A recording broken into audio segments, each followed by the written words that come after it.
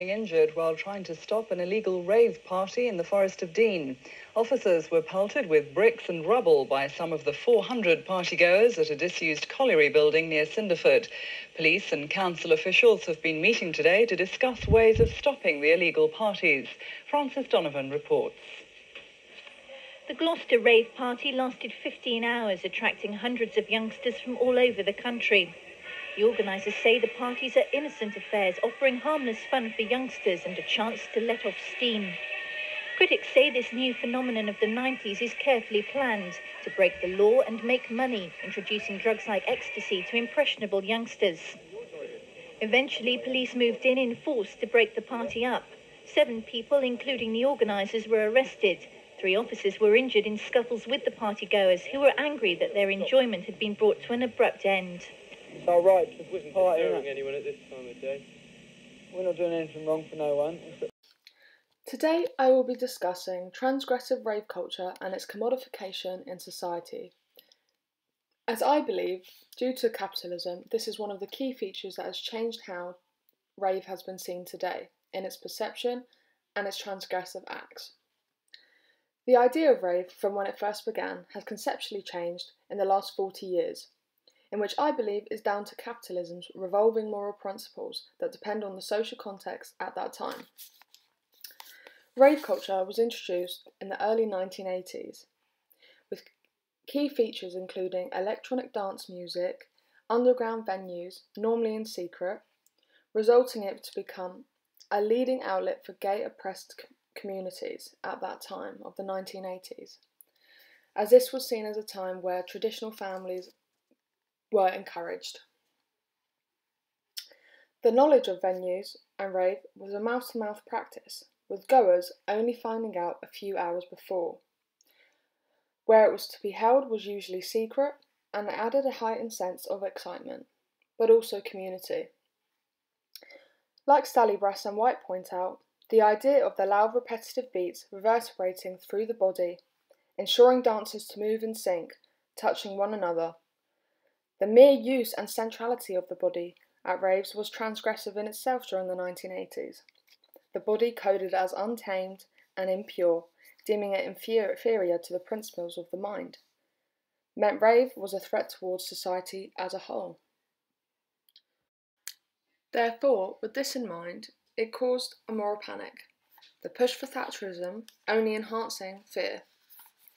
Homosexuality gaining such a platform, it only furthered a push for moral responsibility over hedonism, as it was a wave of threat to traditional fa- values, and clearly the first wave of threat that we'd see in the last 40 years. Therefore, it did not meet the needs of capitalist values at that time. As to why the body did not meet the needs of the traditional family values, Barthes furthered this point by explaining his term of jouissance, which was a term made for transforming of the body in a state of ecstasy. So, the body for generations has always been seen as a prime form of social control. So, it being one of the most disciplined sites in most social structures, it was deemed unacceptable due to such a loss of control in the body and mind. The issue was then amplified by not only the body being in a trance of ecstasy, but as Stallybrass mentions it, ecstasy also being the key artifact of rave, which was also known as E. So, with the use of ecstasy by youth culture, it became seen as one of the most sociable drugs, or also known as the love drug, as Reynolds puts it. The increased levels of serotonin and sense of feeling in unison with music produced a collective intimacy. But, unlike alcohol, Reynolds sees it as promoting oneness of community and emptying the desire for sexual intimacy. It may be the love drug, but more agape than eros, cuddling rather than copulation. However, with capitalism's features of evolvement, it comes as no shock that the inevitability of raves acceptance to appear. As like Foucault suggests, part of capitalism's appeal lies in its ideological flexibility, the ability to embrace transgressive subcultures and repackage it ready to sell to controllable audiences. The transformation starting on its own terms and what is deemed as acceptable at the time. The solution? It had to start with rave's biggest feature, spatial appropriation, which Foucault termed as heterotopias. This idea, central to rave, of space to be fleeting or precarious, even no space was eternal, but rather temporal. This level of spontaneity that rave culture had gave it an adrenaline edge over commercialized clubbing. The excitement for secrecy heightened an image for individuals of elite exclusivity in a different way that clubbing provided. Brewster and Broughton research into rave life found that members felt untouchable at venues were not an obstacle that prevented them in engaging with the subculture. So the growing desire of rave from youth culture, it became an opportunity to be seized for profit rather than a threat. Venues were provided and policed. In the beginning of the 2000s, it then paved the way for DJ superstars to be formed by music producers due to the legality now seen in rave. It was indeed a gap in the market for nighttime economy with its growth as a popular genre. Living. To me, it's a dance party, and that's what I tell kids. You may not have heard the word rave, but young people find out about them through a network of secret passwords. There are even rave sites on the internet. One of the reasons kids like to keep them underground and away from the prying eyes of parents and police is the widespread drug use. Raves have become a haven for drug taking with a dance beat. You cannot go to a rave. And like that news reporter suggested, the stance on MDMA and the acknowledgement of it had become known to society, with music producers using it to their own advantage.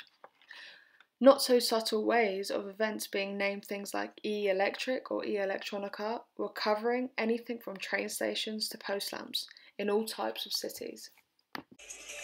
So, with the new spaces, room for drugs, there was one element that had to change in creating a reappropriate type of rave culture that we see today.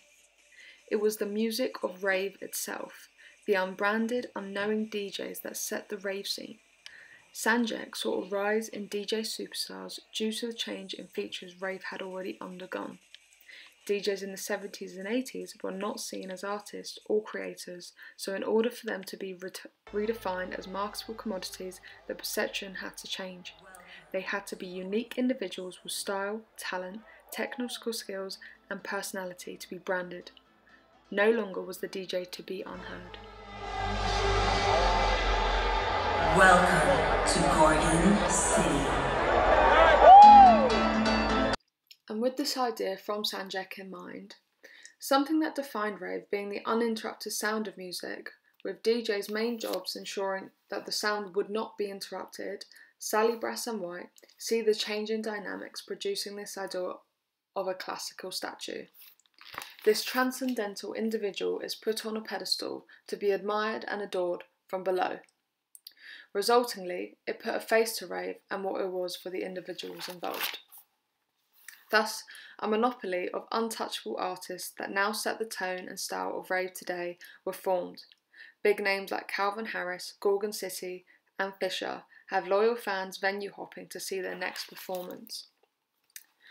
With that, DJs have become some of the most highly paid people on the planet, which was unheard of before. This cult of DJ that Sanjek puts forward really transformed the rave scene into a commodity spectacle. Capitalism took the parts of rave to mould its form of transgression to meet its needs of the nighttime economy. Evidently shown in rave being a part of a billion pound entertainment industry, and with the commercialisation of rave, the idea of heterotopia that Foucault found in trespassing space, it was then relocated to official site of a club. To merely summarise a complex subculture like rave to be transgressive ignores the ways that a substantial social structure adopts the symbolic activity and molds them to serve existing social practice. An interesting thought put forward by Richberg, highlighting the differences in alcohol consumption and drug use, was that alcohol, bringing loads of studies of high aggression and commercial clubbing, reporting a numerous amount of sexual assault when consumed. Whereas MDMA, causing a dephallicizing effect, some may argue it removes these hierarchies of gender power. One may suggest that the pros and cons of each substance cancel the other, in what each experience may entail. With this in mind, it illustrates the power that society possesses in labelling one substance deviant and the other not, based on perspective. Therefore, could it be suggested that alcohol's acceptance is due to the large profitable market that alcohol consumption provides? That may be a discussion for another day. With the main features of transgression in rave being removed and dissected, including the reappropriation of space, the use of drugs, clothing, and a change in opinion over the past 40 years, rave today may be argued to be more seen about the music people identify with, the fashion they wear, what big events are happening that year, rather than transgression being its key element. It's how individuals want to form their own identity and how they want to be seen in society. And today, rave is seen more of a music genre than a statement. It is something that people now identify with in the sense that they don't name artists, but more so the genre of music they're into. So, it goes without saying that with all cultural phenomena, and rave being the central topic, there is clear conflict between the symbolic and materialist aspects of rave's whole foundation. Bourdieu summarising the capitalist agenda quite nicely. The cultural businessman, like music producers, is at one and the same time the person who exploits the labour of the creator by putting it on the market and in this case, the stage. The spectacular growth of rave will inevitably continue due to the love of music and capitalist needs to exploit to make profit. So, the question is in your eyes, does rave still inhabit the transgressive nature it once was? Thank you for listening.